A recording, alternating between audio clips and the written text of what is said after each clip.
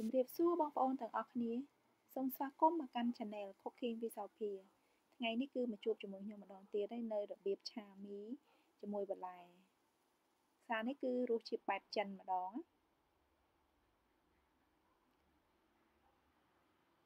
ខ្ញុំប្រើលឹកឆាយហ្នឹងកន្លះខាំឬក៏ស្មើនឹង50ក្រាមយើងកាត់វាកង់កង់ខ្លីៗល្មមមកបន្លែគឺខ្ញុំប្រើតែ4មុខទេ សម្រាប់ស្ពៃក្តោបគឺខ្ញុំប្រើចំនួន1ខាំឬក៏ស្មើនឹង100ក្រាមណាយើងកាត់ដុំតូចៗល្មមហើយសណ្តែកបដោះខ្ញុំប្រើតែប្រហែលជា70ក្រាមអីទេការ៉ុតគឺប្រើ40ក្រាមយើងហាន់ជាសាច់តូចៗដើម្បីវាឆាប់ឆ្អិនណា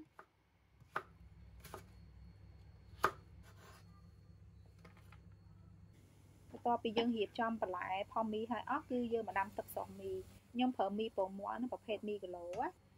មីហ្នឹងគឺចំនួន3ខាំខ្ញុំស្រស់វាតែ2នាទីឯង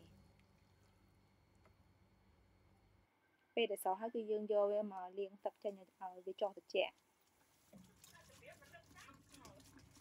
ពេលឆ្នាំងខ្ទះយើងក្តៅហើយគឺខ្ញុំចាក់ប្រេងពីលភាបាយចូលសម្រាប់ទុកឆាមីព្រោះរបៀបឆាមីហ្នឹងគឺយើងឆាសរសៃមីមុនយើងឆាសរសៃមីយើងឲ្យឡើងស្ងួតល្អសិនមិនយើងបន្ថែមគ្រឿង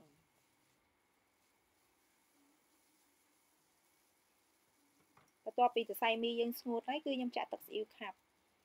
យើងកូរស៊ីអ៊ីវខាប់ជាមួយនឹងមីនឹងឲ្យសព្វពណ៌ល្អសិនមកណាចាំយើងបន្ថែមគ្រឿងបន្តទៀតបន្ទាប់ពីច្របល់សព្វហើយយើងដាក់ប្រេងខ្យងកន្លះស្លាបបាយទឹកស៊ីអ៊ីវប្រហែល1លាបកាហ្វេហើយយើងច្របល់វាម្សាទៀតសិនមក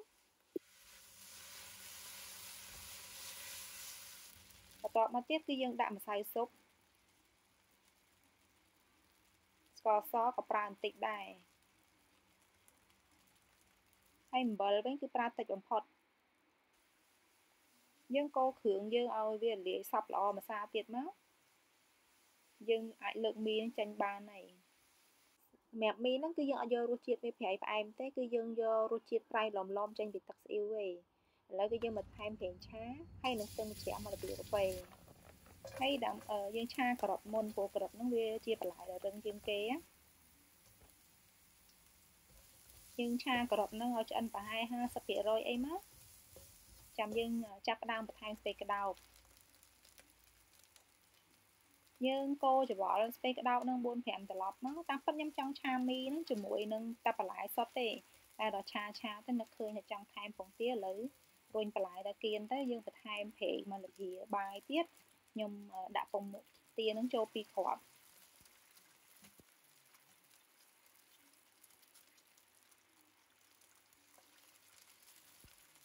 សម្រាប់បងប្អូនដែលចង់បានពងទាម៉ត់គឺយើង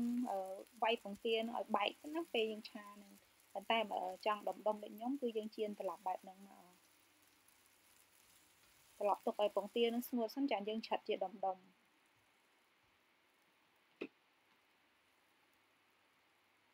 ឥឡូវពងទាយើងឆ្អិនហើយយើងបំបែកវាដុំដុំតូចតូចល្មមមក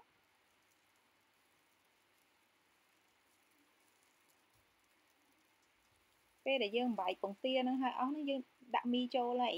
ព្រោះខ្ញុំអត់ចង់ឲ្យបន្លែនឹងស្លោកពេកទេបន្ទាប់ពីដាក់មីចូលហើយនៅសល់លឹកកឆាយជាមួយនឹងសណ្តែកបដោះហ្នឹងគឺយើងដាក់ចុងក្រោយគេដាក់ទាំងអស់មកពេលដែលយើងដាក់ បន្លែចុងក្រោយនឹងចូលហើយគឺយើងច្របល់តែ2 3ត្រឡប់ហើយគឺខ្ញុំលើកឲ្យព្រោះខ្ញុំអត់ចង់ឲ្យបន្លែវាស្លោកណាបើបងប្អូនចង់ឲ្យបន្លែឆ្អិនជាងហ្នឹងឆាយូរជាងហ្នឹងតិចទៀតទៅតែប៉ុណ្្នឹងមីឆាយើងគឺរួចរាល់អស់ហើយសម្រាប់បងប្អូនថ្មីថ្មីដែលអត់បាន subscribe channel របស់ខ្ញុំសូមជួយចុច subscribe channel YouTube និងជួយ follow page ថ្មីរបស់ខ្ញុំផងណាដើម្បីទទួលបានវីដេអូថ្មីថ្មីពីខ្ញុំបន្តទៀតហើយក៏អរគុណដល់បងប្អូនដែលបានចូលមើលវីដេអូតាំងពីដើមរហូតដល់ចប់បើមានសំណួរឬយោបល់អាច comment នៅខាងក្រោមវីដេអូបានណា អរគុណជម្រាបលា ជួបគ្នាវីដេអូក្រោយ